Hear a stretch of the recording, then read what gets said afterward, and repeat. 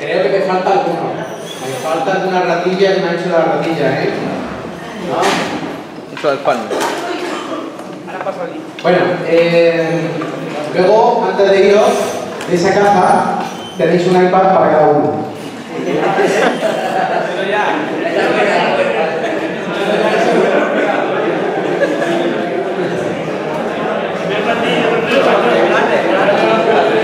Yo soy, yo soy de pago. Yo soy de pago anticipado.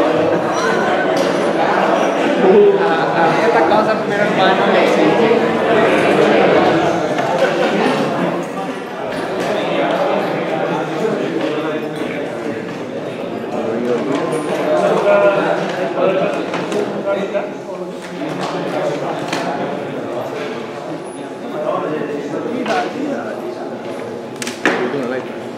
Te lo voy a caer.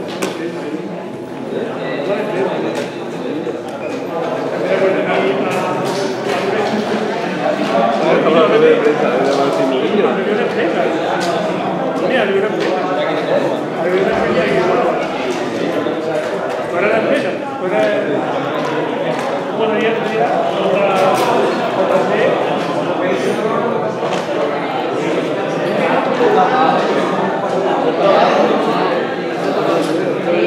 parece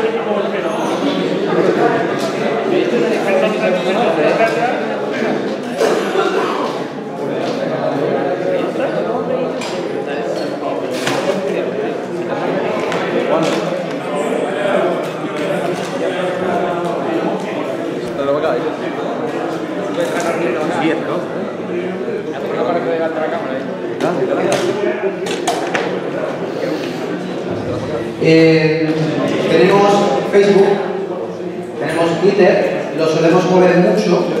Eh, ahora incluso tomando café, hablando con otros profesores, tenemos un vídeo muy curioso en nuestro Facebook, en el de ICANX Ingeniería, eh, donde el informático se come un marrón de, nos llaman de una avería de Barcelona, vamos a Barcelona porque no había comunicación con una planta que tenía un sistema domótico y es que se había metido una rata en el rayo.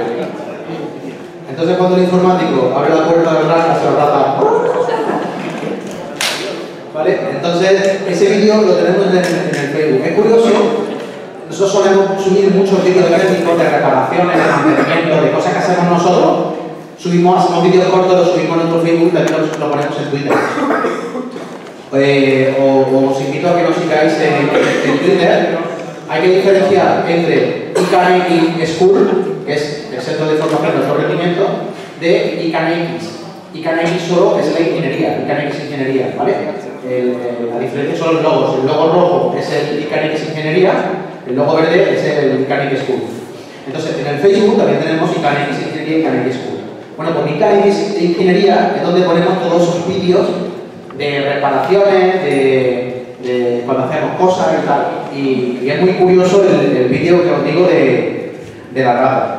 Es un, es un- tiene toda la razón, tiene. No puedo ponerlo aquí porque como no tenemos conexión a internet, pues no puedo entrar en mi cuenta de Facebook y mirarlo. Pero, pero os invito a que, a lo veáis. Vale. Bueno, como digo, o- ahora eh, tocaba eh, enseñaros un poco cómo es eh, la parte de, domótica de lo que es cableado en KNX. Nuestra intención no era enseñaros a programar eh, en este evento porque, aparte de tener vídeos tutoriales y tal, en nuestra página web, por tiempo no, no tal. Pero no han pedido en el, des- en el desayuno que por lo menos arranquemos el software, veáis el software y hagamos algo muy simple en 15 minutos. Para que por lo menos veáis el entorno, ¿vale? Entonces lo vamos a hacer, a hacer así. Vamos a reducir eh, el tiempo del PowerPoint que yo os iba a enseñar, que voy a ser muy de pasada, muy de pasada, simplemente para que veáis eh, equipos y veáis topología y tal. Luego Carlos os hará un proyecto muy rápido, muy rápido en ETS 5, ¿vale? Y después entrarán los chicos de, de Fermax.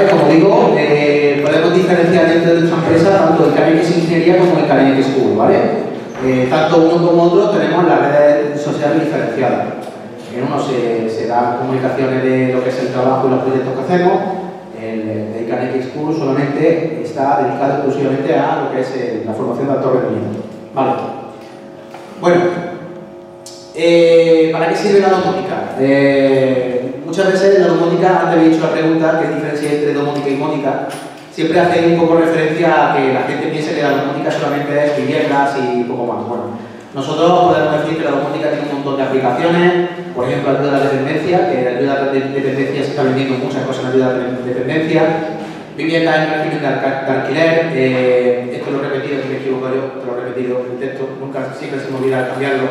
Esto es para administradores de finca, si un administrador de finca que tiene varios edificios puede administrar esos edificios a través de su, de su propio ordenador. Restaurantes, camping, campos de cultivo, invernaderos de animales, procesadores de carne, longe mercados, superficies comerciales, centros logísticos, ¿vale?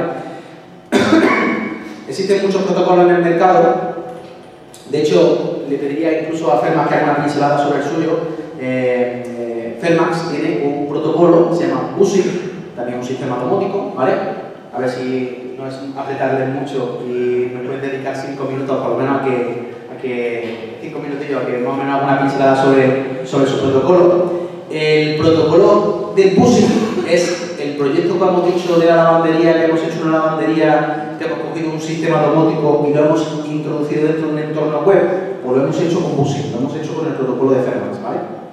Bueno, eh, a referente a lo que es KNX, bueno, pues un estándar que lleva más de 25 años en el mercado, no depende de un fabricante, si hay muchos fabricantes que trabajan eh, con KNX, eso quiere decir que si me rompe un aparato, me podía el mercado elegir otro fabricante que haya en el mercado. No se pagan derechos de patente, eso está muy chulo cuando te dedicas a hacer aplicaciones eh, de software y de app y cosas así para, para, para el protocolo KNX. Eh, existe un organismo que, se llama, que es la asociación que es la que vela un poco por, por, todo esto para que haya una regla y una norma y existe también asociación a nivel eh, de cada país. KNX tiene, está aprobado por la norma europea, norma internacional, en China, en Estados Unidos, y tiene toda la normativa eh, aprobada en vigor, ¿vale? Su medio de transmisión puede ser eh, Powerline, que es a través de la red eléctrica, radiofrecuencia, IP y par trenzado. Lo más habitual de encontrar es el par trenzado, cable de uso, ¿vale? Más de 409 fabricantes en el mercado, 48.000 integradores certificados, ¿vale? Esto es a fecha del 25 de enero del 2016. Cuando decimos 48.000 integradores certificados, estamos hablando a nivel mundial. Realmente son muy pocos. Y en el mundo existen 357 centros de formación. Nosotros somos uno de ellos, un centro de formación donde la gente que, que viene puede sacarse la titulación oficial de integrador programador de sistemas KNX. Y eh, una de las cosas más chulas es que eh, cada dos años se organiza un evento a nivel mundial que es como los Oscars de la domótica. ¿vale? Es un evento que tiene mucho prestigio, te dan solamente el pago, no es por el dinero, sino que si a ti te dan un, premio anual, pues es el reconocimiento más grande a nivel mundial que le puede dar un integrador de sistema domótico, ¿vale? Pues la persona que cae en sus manos que le dan un premio de estos, sabe que está rifado. Sabe que está rifado. ¿Quién se puede presentar? Se puede presentar todo el mundo, porque te van a votar el resto de integradores y empresas que están dentro de la asociación. Cualquier empresa se puede presentar, puede presentar su proyecto, cualquier integrador puede presentar su proyecto, y el resto de integradores o empresas a nivel, mundial pueden eh, votar por ese proyecto. Tienes la suerte de que el tuyo es el, ganador, pues un premio de mucho, mucho prestigio a nivel mundial.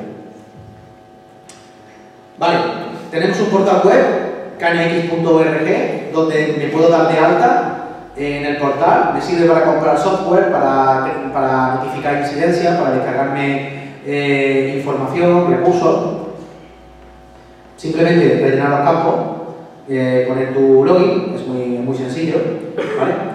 Y como digo, en el portal web podemos comprar software, podemos comprar libros oficiales, eh, en español no lo recomiendo porque en español están obsoletos, en inglés está todo actualizado, pero en español está obsoleto, en, español está el libro de LTS, en español está en el LTS 4. Hoy día ya estábamos en el LTS 5. ¿vale? Eh, para tú apuntarte a un curso oficial se hace también desde ese portal web, se puede modificar los datos de la cuenta, se puede notificar incidencia, asegurar recursos, etc. ¿vale?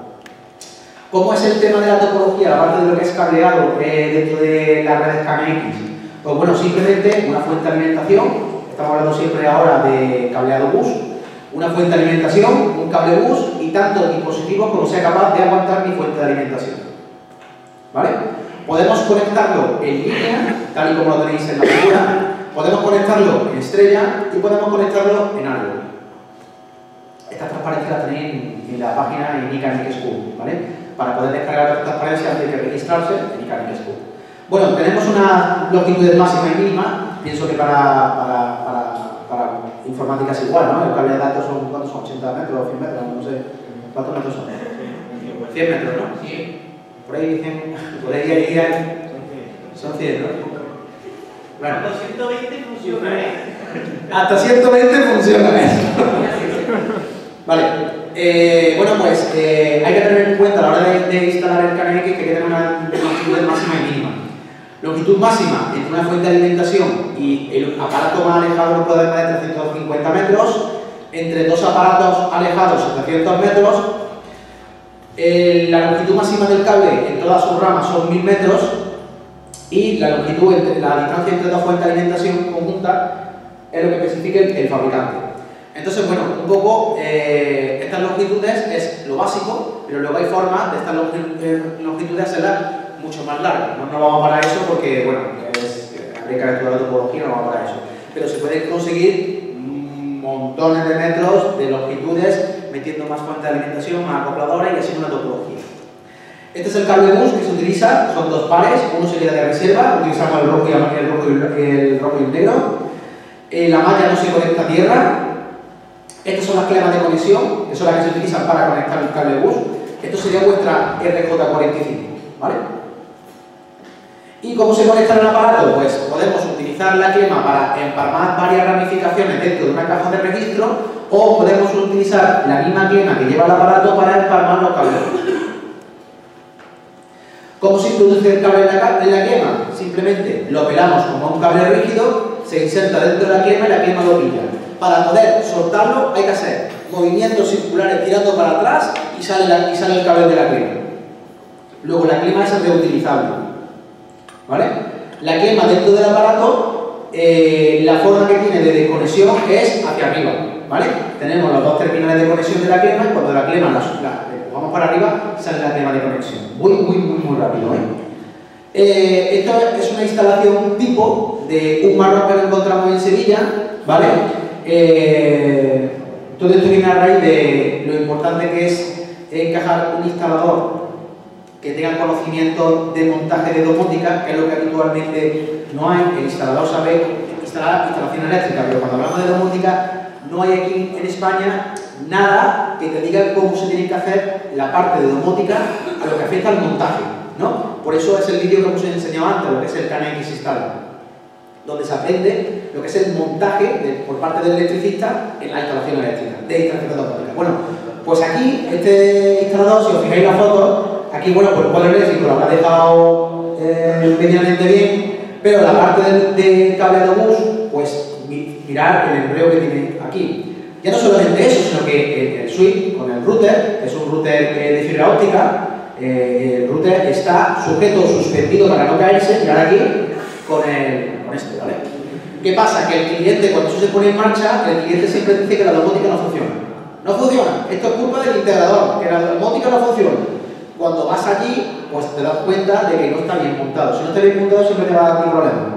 Luego tienes que asegurarte de que la instalación está bien montada. Si no tienes conocimiento de electricidad, te va a costar trabajo diferenciar eso. ¿Vale? Bueno, pues aquí el bicho este había utilizado aquí un sub de ventilación. ¿Sabéis un sub de ventilación?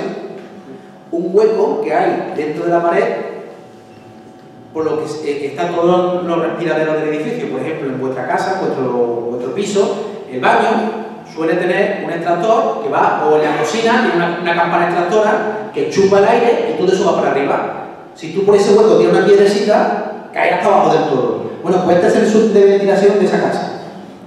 El tío hizo un agujero para meter todo este enredo de cable.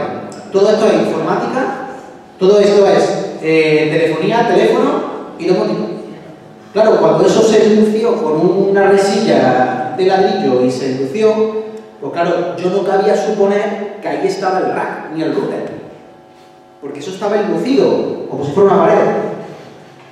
Entonces, cuando empezamos nosotros a tirar de los hilos, a tirar de empezamos a descifrar que había cables que iban a sitios donde no sabíamos dónde estaban registrados.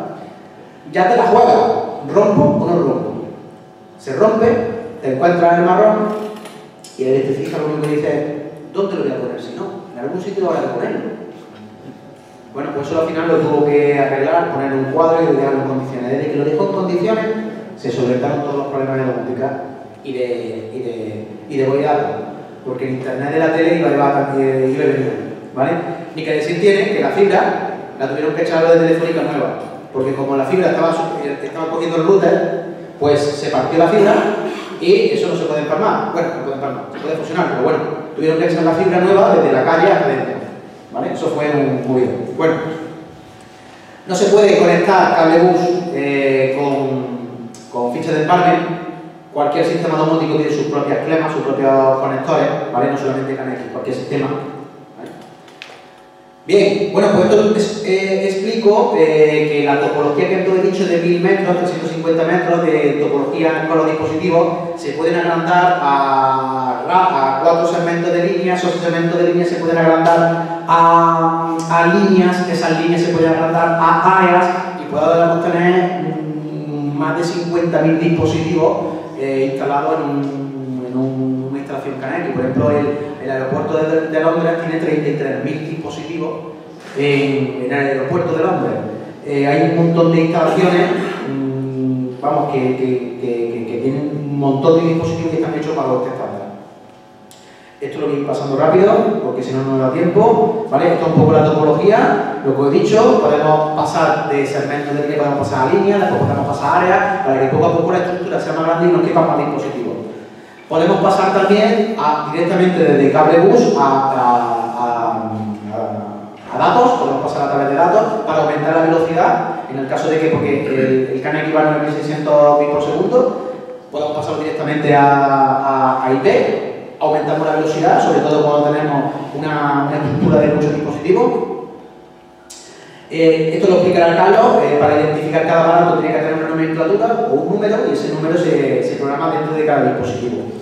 Como para vosotros tener la, la IP de, de, un aparato, pues nosotros le llamamos dirección física. ¿vale? Para memorizar la dirección física se hace con el software y se tiene que programar usando un botón que tienen todos los aparatos KNX. Tiene un botón que cuando lo pulsas memoriza esa dirección física, digamos esa dirección IP. ¿Vale?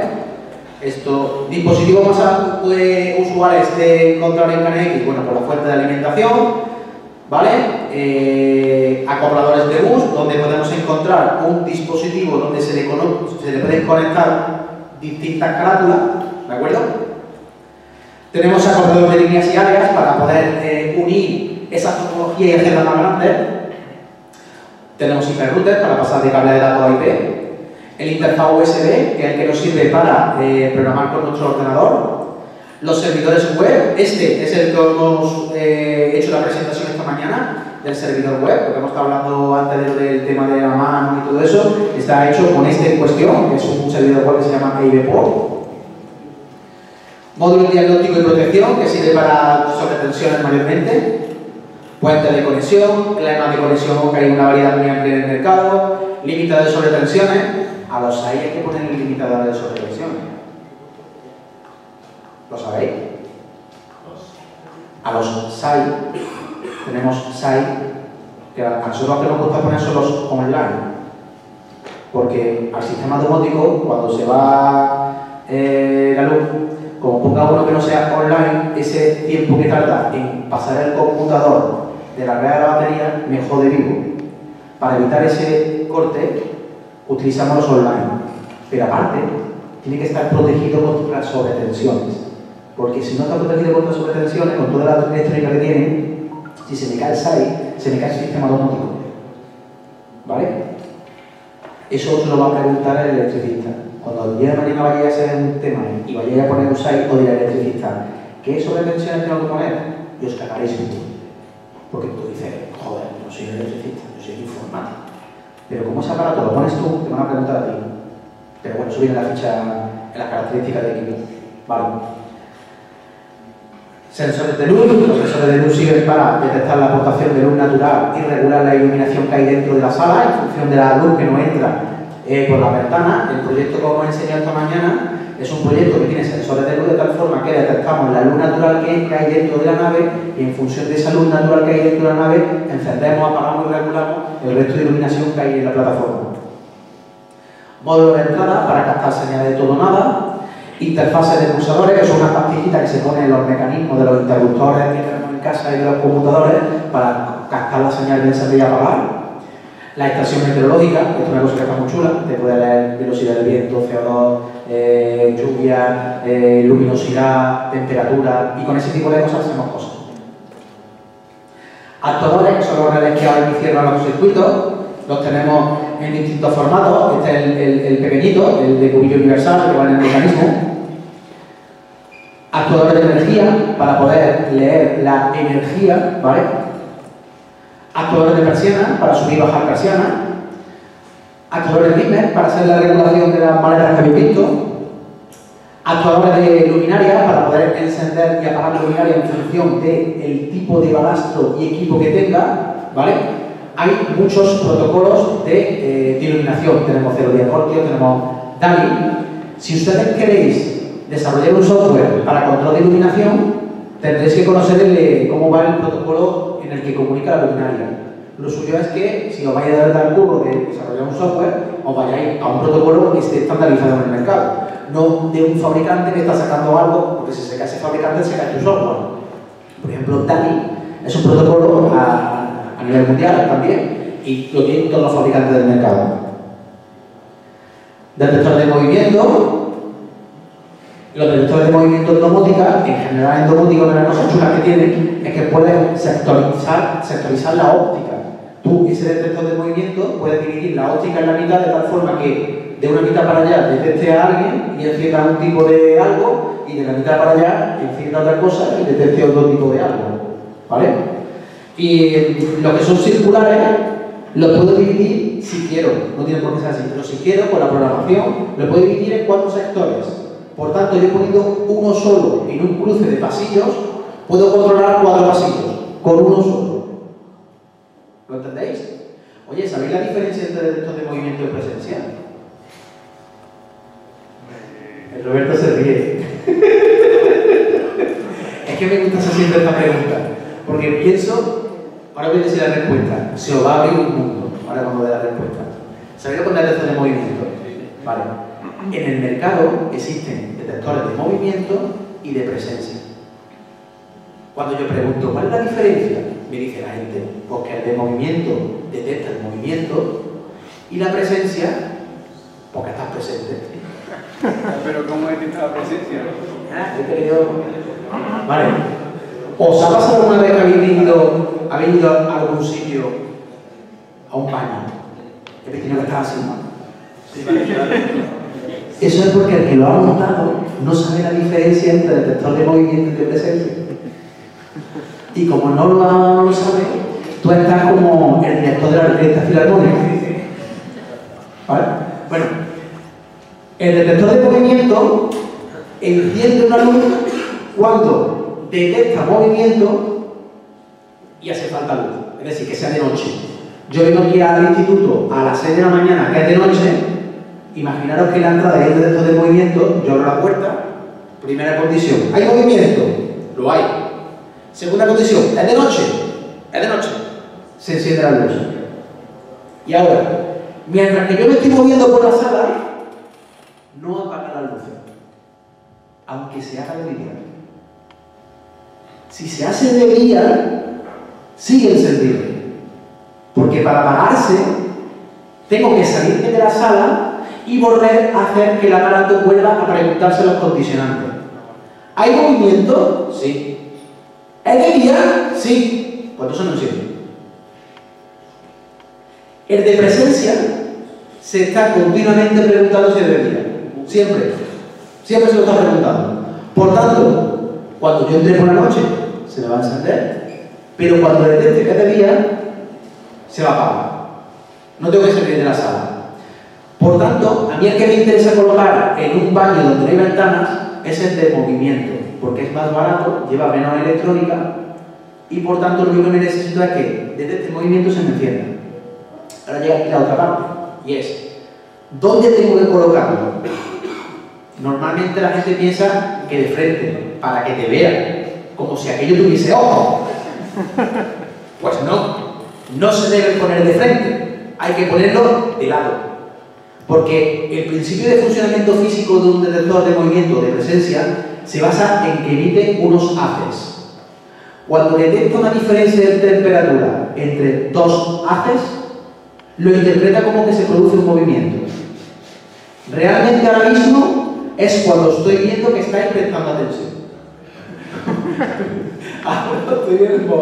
Bueno, entonces, si se emiten dos haces, es que no tenemos pizarra, pero bueno, imaginad, si yo estoy puesto de frente y abro dos haces, seguramente cuando una persona se acerque hacia mí, puede dar la casualidad de que vayan dando y los dos haces se metan por los lados. Yo no porque estoy más gordo, yo lo entenderé. Pero mi hermano que está más canino, seguramente los haces pasen por los lados y me tenga que acercar mucho al detector de movimiento para que los dos haces los corten. Cuando en vez de ponerse de frente, se pone de lado y yo voy en este movimiento, es más fácil de cortar los dos haces. Por tanto, los cortaré mucho antes que si voy en la dirección hacia de frente. ¿Lo entendéis? Pues ya sale una cosa. Eh, ya vi como esta mañana. Venga, a todo de fanboy. Eh, ¿Sabéis lo que son fanboy? Los equipos de aire acondicionado. ¿Vale? Eh, hay unos chicos de. Creo que son de Barcelona.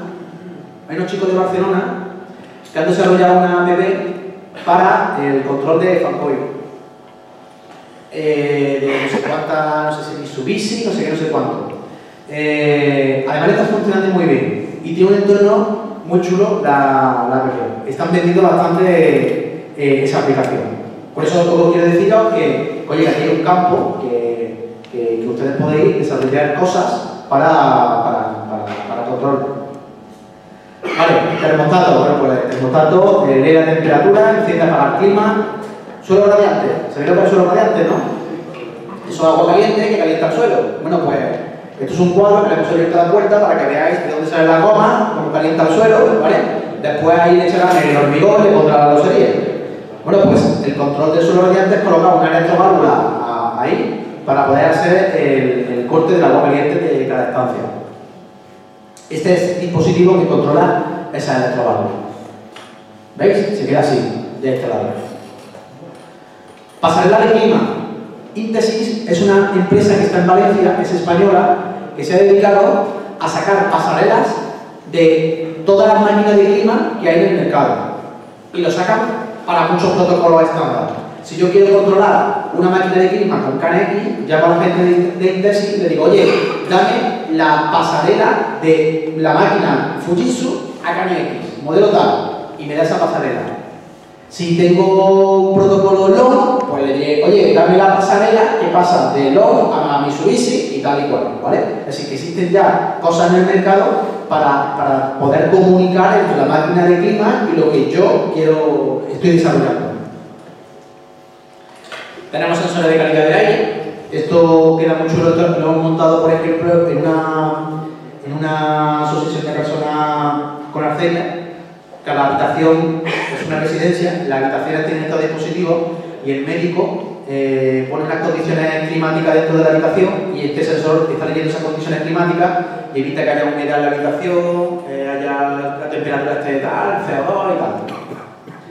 Pantallas táctiles, cada vez menos nos gusta montarlas. ¿Por qué? Porque una pantalla táctil te puede costar una chula 2.000, 3.000 euros y un iPad te cuesta 300 más barato, 300 y pico por, por, la página web, 300 y pico. Si a eso le junto el marco motorizado, es un marco motorizado donde yo meto el iPad se queda cargando, le doy al botón, se cierra y parece una pantalla táctil. Sale mucho más barato que comprar una pantalla táctil. ¿Vale? Porque una pantalla táctil y tal es cara. A excepción de aquí tienen esos señales, que es mucho más barata. Vale, botón multifunción para hacer un montón de, aplicaciones, escenarios, módulo lógico. Nosotros, como no somos informáticos, bueno, Julio sí, nosotros, yo, como no soy informático, yo igual necesito hacer un algoritmo, pero un algoritmo en un entorno de edición que yo lo entienda. Yo no escribo código, yo no entiendo el código. Y muchas veces, de broma, cuando voy escribiendo el código, eh, escribiendo de broma le digo, mm, a eso le falta un acento. ¡Ah, guay! Un acento, una chorrada. Pero yo necesito un entorno de edición donde yo pueda decir eh, un condicionante, un comparador o lo que sea. Entonces, este aparato me permite a mí, que no tengo conocimiento de informática, crear un algoritmo para hacer una función determinada. Tenemos programadores horarios, módulos de medición. Tenéis un campo, un campo muy amplio, la gente de informática, en todo el tema de desarrollar cosas para medición. Cosas para medición. No sé si conocéis el, el Wibi. ¿Os suena? Bueno, el Wibi es un aparatito así de grande, así, que se conecta en el cuadro de tu casa. Tú te descargas la app que es gratuita y tienes todo el consumo energético de tu casa en la app. Eso, eso se conecta con la ruta de tu casa y el ruta de tu casa se conecta con la nube. Eso tiene históricos, informes, alarmas, una barbaridad.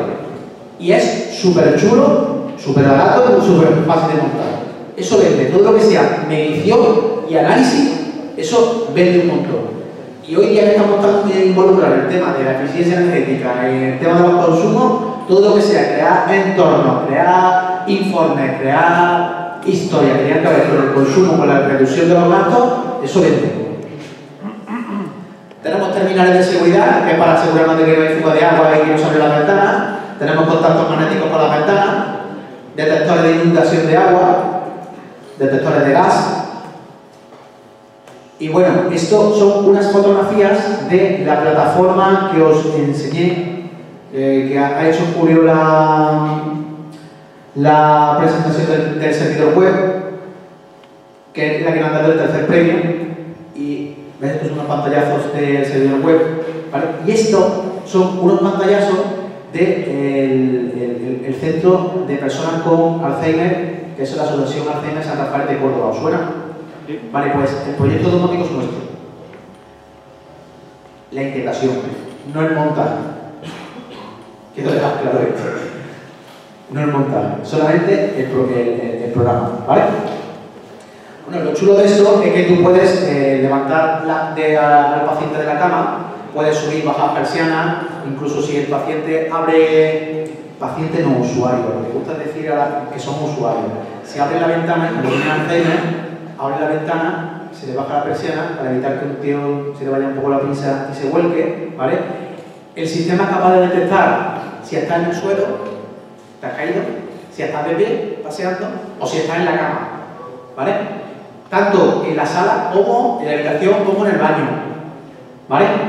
Eh, tiene alarma de enfermería, alarma de incontinencia urinaria, si avisamos a la enfermera si se hace pipí. Eh, en fin, una pasada, una pasada. Es uno de los proyectos que más orgulloso me siento.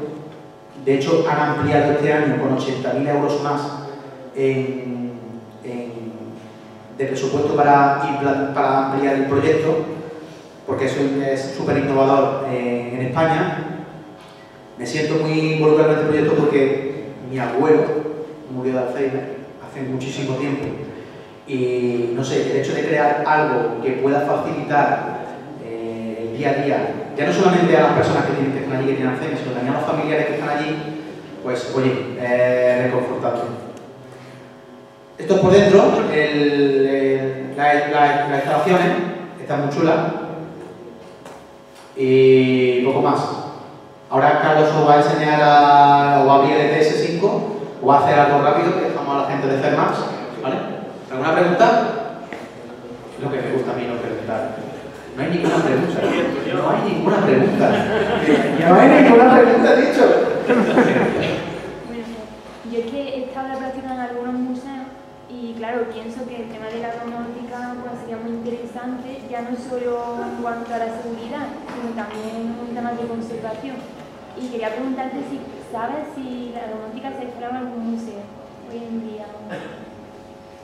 Todos los museos, por lo general, eh, ya no es lo más importante la domótica. ¿Quieres saber el nombre? Ah, el, museo, el ¿Quiere nombre. que le diga el Museo del Prado? Porque, no sé, no sé. ¿Quiere que le diga eso? Ay, ¿cómo se llama? Eh, la domótica en Perdona. Antonio, perdona. El Museo Taurino de Córdoba Ah, lo tiene domotizado. claro. Eh, que vamos, es una lástima que el otro día cuando estuvimos, ¿cuánto fue? En la última semana habían ido dos personas. Como nota significativa de, de, de la forma. Y, y que conste, para que veáis, que conste que, que Julio estuvo allí eh, porque la gente de Barcelona, que hay un- aquello lo contaron unos tíos de Barcelona, y no sé qué problema había, no sé de informática, no sé qué problema había. Que la gente de Barcelona daba con la tecla y ya siento que desde que nos lo han encargado nosotros, de que Julio está allí pegando con nada, que me gusta que pega con nada allí, eh, aquello se ha puesto en marcha y aquello va, va como un tiro, va como un tiro. Porque eh, en la informática eh, llevan un sistema que controla los audiovisuales y todo eso. Y, y ha hecho muchas horas, ha hecho muchas horas para ver algo que no desarrollado. Eh, Ir allí, ver, hostia, qué marrón, vamos a descifrar esto y ponerlo en marcha. Una de las cosas más importantes, ten en cuenta una cosa, con la nueva normativa, con la normativa, con la nueva está ya desde el año 2007, eh, en el Código Técnico de Verificación se eh, expone ya en el 2013 son ah, también para las instalaciones antiguas, que todos los edificios tienen que tener algún tipo de, eh, de, eh, mejora de eficiencia energética. ¿vale? Por tanto, doy por hecho que cualquier museo que se haga a día de hoy tiene que tener algún tipo de control domótico, sobre todo en iluminación. Y es más, los museos, si son de cuadros, el sistema de iluminación, el control del sistema de iluminación tiene que ser brutal, porque las longitudes de onda que da esa luminaria tienen que estar controlados para que las pinturas no se jodan. Eso lo hacemos con sistemas domóticos, que filtramos y decimos, puede estar hasta aquí, por encima no des más, porque jodemos la pintura. Por ejemplo. Temperatura. También el clima. La humedad también. Tú dime a mí, el clima y la humedad, es que eso tiene que estar súper controlado. Han mencionado la seguridad. No nos dejan normalmente entrar en seguridad. Siempre todos los fabricantes tienen una parcela de seguridad, de, de, de alarmas, alarmas, sirenas y tal. Pero la seguridad, cuando llega el de seguridad y le dice, pon tu alarma de seguridad, porque ellos son los que están legalizados para conectarse con la central de alarma de la policía. Yo no. Tú le dices al de alarma, oye, déjame algún contacto para conectar mi sistema domótico a tu alarma y yo recepcionar también cuando salte la alarma. Mm, Son muy reacios a eso, porque no quieren que nada se conecte a su, a su, a su central. Ellos quieren desvincularlo, si hay problemas y hay historia, desvincular ambos sistemas. Mm, Si te llevas bien y es una empresa menos no conocida, igual te dejan, pero como es una de las empresas estas fuertes de seguridad, no te dejan conectar nada central. ¿Vale? ¿Más preguntas? No hay preguntas. No hay preguntas. El cliente tiene un medio físico para, en caso de que la domótica falle o lo que sea, desactivarla y mandarla físicamente. Tú tienes que, como integrador, dejarle al cliente todas las posibilidades para que en caso de que haya algún tipo de problema no dependa de ti. Nosotros, por ejemplo, en estas instalaciones grandes que hacemos, seleccionamos un material para que en caso de que haya algún tipo de problema, ellos puedan conectar y desconectar con la mano. Son unos actuadores que llevan unos relés, los relés conectan y desconectan las cargas, pero en vez de ser electrónicos, son mecánicos. Luego tú con la mano puedes encender y apagar las cargas. Si pongo los electrónicos y se va el 6, porque no habéis puesto limitador sobre tensiones, el informático que sabe mucho, me va a tocar a mí coger el coche y ir a Barcelona. Y eso lo voy a pagar yo. O Miranda del Ebro. O mirando el Ebro. Menos 5 grados. menos 5 grados. Y cuando yo vaya allí y me encuentre que se le ha jodido el site porque el informático no ha hecho su trabajo, al final el informático, como no tiene empresa, de la empresa del cliente, pues dirá, eso es culpa de tal. Y al final me cuesta dinero. La cuestión, siempre intenta, cuando selecciona el producto, poner cosas para que no te duele la cabeza. Paso uno. Segundo, es de falta de ética profesional no entregar el proyecto. A diferencia ustedes como informático, que cuando hacéis un programa no vaya a dar código fuente en la vida, nosotros, por hacer los sistemas domóticos, porque así lo rige el reglamento de baja tensión, su instrucción 51, cuando yo termino un sistema domótico, me obliga, entre comillas, porque no lo entrega ni Cristo, me obliga, para que ustedes me entendáis, a darle el código fuente. Porque me está pagando por ello. Cuando a mí me encargan un proyecto, me encargan un código fuente, para que lo entendáis. Y yo lo hago lo pongo en marcha y se lo entrego. Porque así me, sigue una normativa. Porque tú no puedes coger y hacer un cliente continuo de que tú le vas a cobrar a lo mejor baratito en la programación de su casa, pero cuando ya el tío terminado en la casa, que sabes que después a posteriori vienen los pollaques, a los pollaques porque cada pollaque le cobrar 150 euros. Entonces el tío se ve que está cogido por los huevos y tiene que pasar por todas las cosas que tú le quieras hacer.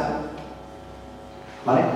Para evitar eso, existe una normativa que te especifica que cuando tú salgas de allí, tienes que probarlo todo con el cliente, tienes que firmar la entrega de instalación, ¿vale? Y tienes que entregarle el proyecto con los códigos de seguridad.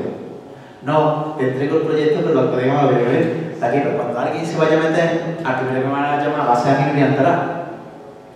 Lo tienes que entregar todo. ¿Se hace? No.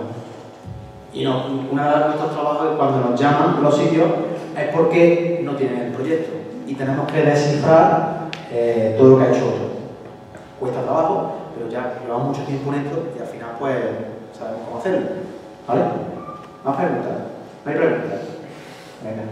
Y todo este tipo de cositas de conexión remotas con el móvil, la tablet, todo este rollo, supongo que tendrá cosas así estilo cortafuegos o algo así, ¿no? Por si... Cada fabricante tiene que garantizar el nivel de seguridad. Te voy a poner un caso. Existe un servidor web que se llama Domovea, que es, además va a venir a, va a venir a porque es que este tío ha detectado un fallo de seguridad. Eh, se llama Domovea, es del fabricante Agra, el fabricante Agra. Bueno, pues nos encargaron un proyecto aquí en Córdoba, solamente integrar, y nos pasaron el suministrar el material y programamos el sistema.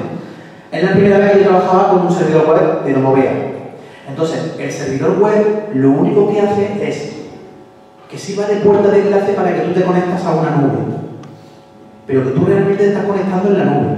No te estás conectando físicamente como aquí, que el proyecto está metido dentro del aparato. Lo que vamos a enseñar en el el proyecto está metido dentro del aparato. Luego, si está el proyecto metido dentro del aparato, lo que tengo que garantizar como mínimo una VPN entre el aparato y mi, teléfono móvil, como mínimo o mi iPad o lo que sea. El problema está cuando el proyecto no está en el aparato, está en la nube. ¿Vale? Pues nosotros, cada vez que nos conectamos, nos conectamos a la nube. Y no hemos dado cuenta que el servidor web, cuando te conectas a la nube, tienes que poner tus códigos de seguridad, tus contraseñas, todas las pescas. Pero cuando quieres modificar una programación horaria, puedes entrar al servidor web copiando el churro que ponen en el plano. Luego, si tú me ves el churro y lo copias, me puedes modificar el horario de la programación de mi casa. Porque no te ni contraseña ni grito. Nosotros lo hemos identificado. Hemos dicho, oye, hemos detectado este fallo de seguridad. ¿Podéis contestarnos al respecto? La contestación que me han contestado mediante antes que no sabiendo lo que estábamos hablando. Entonces era predicar el desierto. Decir, bueno, pues claro, que sigan vendiendo todo muy bien. ¿Verdad? Ya le cambiaré el horario a todo. a Entonces, que sí, que, que dice, bueno, pero tienes que conseguir el churro del navegador. Bueno, pero es un fallo. Pero hostia, tío, es que con el churro del navegador, tú pones el navegador y entra a la programación horaria del. Hostia, ¿qué me estás contando? Es que pues es un fallo de seguridad. ¿Qué te ha pasado por gas? ¿Cómo? ¿Te ha pasado por gas? ¿Te me ha cortado?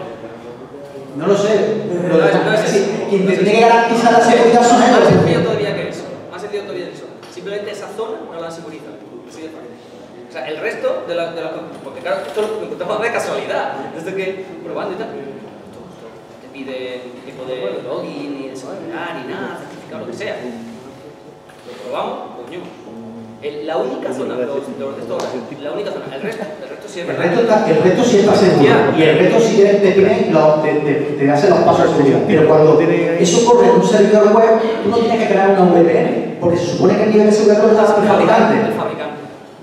Cuando ahora entra la programación horaria sin contraseña. Venga, más preguntas. Venga, pregúntate, tú tienes que preguntas.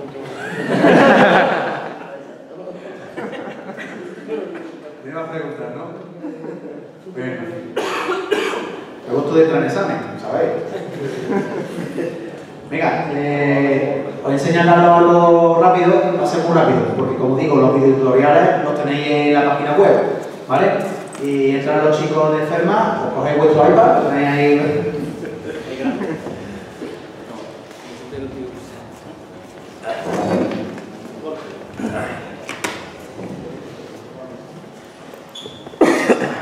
Eh, ¿Alguien ha planteado el software de programación de KNX? Na- ¿No tenéis ni idea por mirar? Nada. ¿Probamos? Vamos.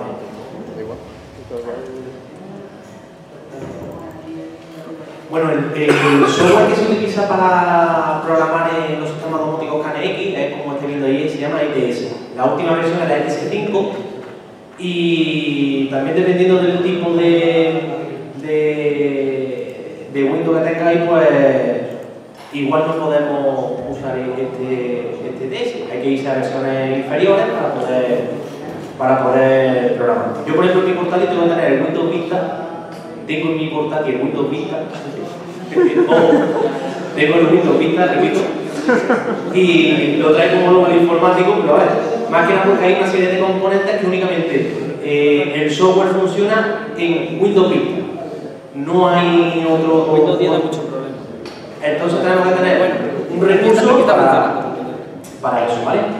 Eh, pues bien, eh, como digo, el software en sí es un software muy, muy simple que eh, la funcionalidad que tiene como ha explicado antes Antonio, es que todos los fabricantes, la gran mayoría de los fabricantes, pues trabajan bajo este protocolo. Por lo tanto, en el caso de que el día de mañana a mí se me rompa un dispositivo o pase cualquier otra cosa, pues puedo irme a otro fabricante, coger el, el dispositivo que sea compatible y sustituirlo uno por otro. Y ambos dispositivos se pueden comunicar eh, de- perfectamente, no hay ningún tipo de problema. No dependemos de un único fabricante. Si el fabricante o deja de fabricar ese producto sea, pues tenemos ese, ese, ese, esa- ese problema solventado. Es un- de ahí que no es un sistema propietario, hay otros sistemas propietarios que a los 5 o 6 años por lo general vuelven a renovar su producto y nos encontramos de que a los 6 años pues si tiene una avería o va a tener que cambiar toda la instalación o va a tener que ampliar o es el problema que tiene algunos de estos sistemas propietarios. Siempre y cuando no sea un fabricante que sea digamos sea digamos que tenga nombre o que o que o que te, o que te dé ese tipo de soluciones. Entonces, bueno, eh, a diferencia de los anteriores ETS5, ETS, el ETS5 es muy intuitivo, es muy fácil, muy sencillo a la hora de, de programar. No se programa en código, no se programa en- es muy simple, ahora cuando lo veis eh, veis cómo, cómo es. Pero no es algo complejo. Lo que sí es necesario es tener ciertos conocimientos, sobre todo eléctricos, para conocer eh, qué funcionalidad tenemos y qué es lo que necesitamos hacer. ¿no? Pues bien, aquí a la hora de hacer un proyecto, pues bueno, se crea un proyecto nuevo, ponemos aula por ejemplo, y a partir de aquí creamos un proyecto. Se- a, eh, a la hora de crear este proyecto hay que tener en cuenta sobre todo dos, dos partes importantes que ahora vamos a ver aquí a la hora de programar. Una, la parte de edificio, que es el lugar donde vamos a incluir todos los dispositivos que van a entrar en nuestra instalación, ya sea de domótica o inmótica, como sabéis, domótica, sobre todo sectores residenciales, como son viviendas, hogares y demás, y a lo mejor inmótica, pues algo ya sector terciario, industria, etc. ¿vale? Aquí iremos incluyendo los dispositivos, hablaremos un poco de la nomenclatura que tienen que tener estos dispositivos y luego cómo se configura y cómo se programa, que es eh, en un apartado que se llama direcciones de grupo. Bien, como digo, lo que vamos a hacer es, a la hora de, crear nuestro proyecto, en este caso es un aula, a imaginarnos que tenemos un aula, pues lo que vamos a hacer es, bueno, pues vamos a incluir una estancia que va a ser aula 1, y a continuación, pues bueno, voy a incluir eh, otra estancia que va a ser, por ejemplo, hall. Ahora entenderéis por qué. Aquí en el hall, pues donde vamos a añadir, por ejemplo, nuestro cuadro eléctrico, que es el lugar donde incorporaremos una serie de dispositivos. Vale. Eh, a la hora de desarrollar un proyecto, primero tenemos que tener claro, como digo, qué elementos vamos a controlar. En este caso, lo que vamos a controlar, por ejemplo, va a ser el alumbrado, que lo vamos a, encender y apagar la luz desde un punto cualquiera. Tenemos un interruptor y aparte tenemos en el cuadro eléctrico el dispositivo que se va a encargar de cerrar un contacto que es el que va a encender y apagar la luz. Por lo tanto, en el aula eh, que va a estar el interruptor, vamos a colocar el dispositivo encargado de realizar esa, inform- de esa información.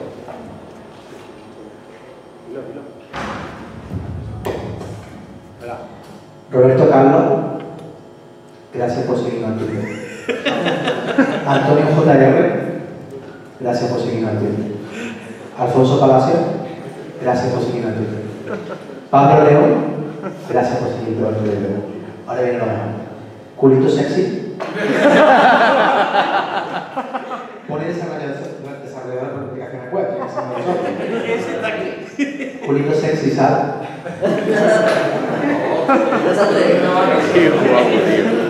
Bueno, culito sexy. Gracias por seguirnos en Twitter.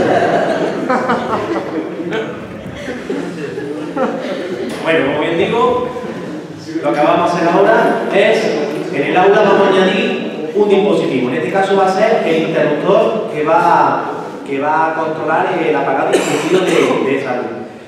Una cosa buena que tiene eh, este sistema es que yo lo puedo vincular perfectamente o introducir perfectamente en instalaciones ya existentes. Únicamente haciendo ciertas modificaciones, o bien en el cuadro eléctrico y bien adaptándome a cómo se encuentra mi instalación. En este caso, si tenemos un interruptor convencional en una vivienda, ese interruptor lo puedo convertir perfectamente en un sistema domótico. Le coloco un dispositivo que es una interfaz, una pastillita que tiene dos hilos, que lo conecto donde se encuentra el interruptor y a partir de ahí, ese, esa apertura y cierre de contacto es el que va a mandar la información a través del cableado al otro dispositivo para apagar y encender la. ¿Vale? Vamos a añadir un dispositivo. En este caso, pues bueno, como tenemos aquí corro. Vamos a colocar este dispositivo, que se llama US barra. Como lo sé de memoria, lo metemos aquí. Y en el hall, en el cuadro eléctrico, lo que vamos a introducir es el actuador. Nos metemos en el cuadro eléctrico. Vale, ya tengo los dispositivos.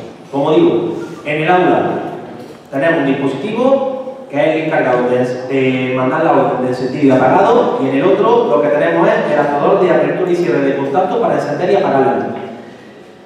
Eh, esto es lo que había dicho Antonio, a la hora de introducir los dispositivos nos da un nombre. Cada uno tiene un número determinado, porque dos dispositivos no pueden tener el mismo nombre.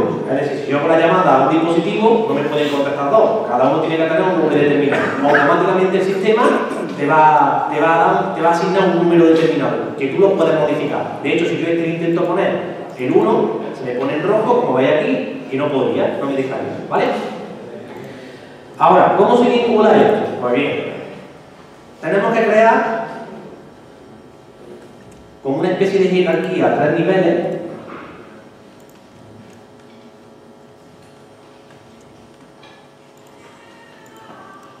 como estoy creando aquí, eh, esto va a ser un off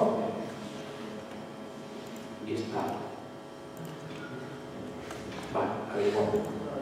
Bien. Es una jerarquía a tres niveles que no hay que, que, no hay que confundirse en el tema de las direcciones del grupo con la, con la, con dirección física, porque en estos niveles donde nosotros vamos a, a jerarcar- a jerarcar- eh, hace una jerarquía donde eh, vamos a tener contemplado, por un lado, por ejemplo, las persianas en, un grupo principal, que sería el azul, el alumbrado en otro grupo principal, que, ¿vale? Y grupos secundarios, pues bueno, pues lo podríamos dividir por planta eh, de un edificio, etc.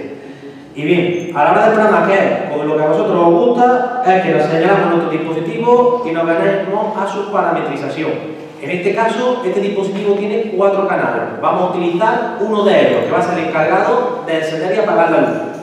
Cuando yo me vengo aquí, su función se la vamos a decir que va a ser un sensor de conmutación, un 1 un 0, o abro o cierro, ¿vale? Señalamos eh, que va a ser sensor de comunicación. A partir de aquí me va a decir una serie de parámetros que en este caso vamos a decir. ¿Qué vamos a hacer cuando cierre el contacto? ¿Y qué vamos a hacer cuando abra el contacto? En este caso, vamos a hacer que cuando cierre el contacto encienda, porque lo que tenemos en una vivienda, o en este caso un aula, y tenemos un interruptor, tendría que poner que es un on, y en el caso de abrir el contacto, mandaría un on. ¿Qué ocurriría si tenemos un pulsador? Pues si yo pulso, va a mandar un on, pero en el momento que suelte, se me va a apagar la luz, nunca se me va a quedar la luz encendida. Tendríamos que venirnos, venirnos a la parametrización, por ejemplo, y decir, lo que me hace es lo inverso de lo que haya, tú me mandas un on la primera vez y la segunda me manda un on. Y en el flanco descendente le digo que no me haga nada. Únicamente va a ser flanco ascendente que va a realizar esa parametrización, ¿vale? A la hora de, de enlazarlo, lo que hacemos es que el telegrama de encendido y apagado, de conmutar, lo mando al 1 ¿vale? Y ahora me vengo al actuador. En este actuador me vengo, por ejemplo, al canal A. En este caso son, tienen dos canales. Pues en el canal A nos está diciendo que tiene un parámetro que es conmutar. 1 o 0, abro o cierro. Esto es todo parametrizable. Es decir, yo puedo incluso abrir con el 1 y cerrar con el 0. Va a ser la lógica inversa. Eso tiene la propia parametrización de los dispositivos. En este caso, meto el on-off dentro de esta dirección del grupo, en la 001 arrastrándola, y el estado, para no voy a explicar lo que es, lo meto en estado.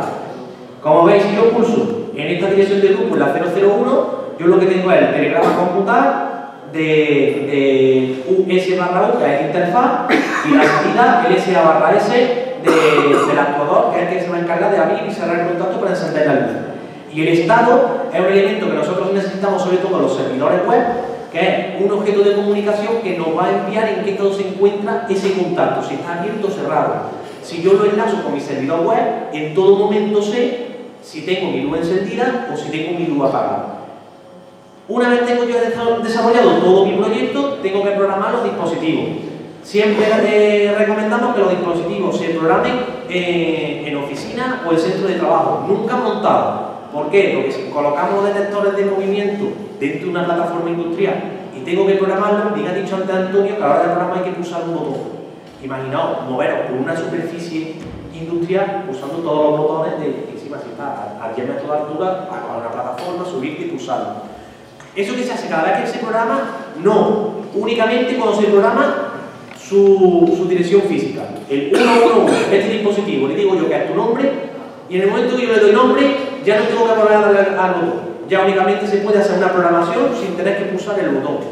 A la hora de programar, puede tener distintas formas de programar. Una es la completa, que es la aplicación que yo he desarrollado en los objetos de comunicación que están aquí, o eh, bueno, la completa es los objetos de comunicación y su dirección física, su nombre, su IP, como ha dicho Antonio, y por otro lado, la parcial. La parcial es únicamente las modificaciones que he hecho, siempre y cuando tenga su IP ya asignada. Si no tiene su IP, tengo que ir a pulsar el botón.